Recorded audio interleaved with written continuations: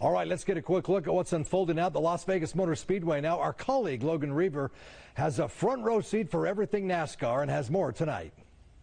Back here inside the Johnnie Walker RV, we were outside for a lot of the day, but I'll be honest with you, I was freezing cold, so we came back inside and not a bad situation whatsoever in this living abode, nice and toasty, uh, and the festivities are starting to pick up here with the Haulers Parade coming through, as we know, and that's when it starts to feel very much real in terms of the actual racing itself busy weekend between the Truck Series, Xfinity Series, and of course the Pennzoil 400 with the Cup Series on Sunday. We'll be talking with a number of the drivers, but I got the chance to talk to Chris Powell, the president of the Speedway today, about his favorite part of the weekend and also how festive that Haulers Parade really is. There are thousands of people in this infield, and they will be having the most fun more fun than anybody on the strip this weekend. They're going to be having fun out here at the Speedway, partying it up, and uh, having a good time, and, and all in the name of NASCAR and racing and community.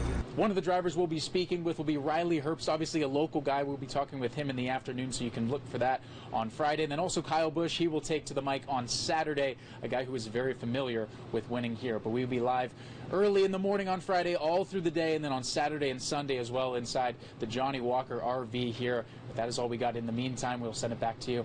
All right, thank you very much, Logan. And it all kicks off. Of course, you can catch up with Logan, don't, like you mentioned right there, bright and early tomorrow morning, starting at 5 a.m. on Good Day, Las Vegas.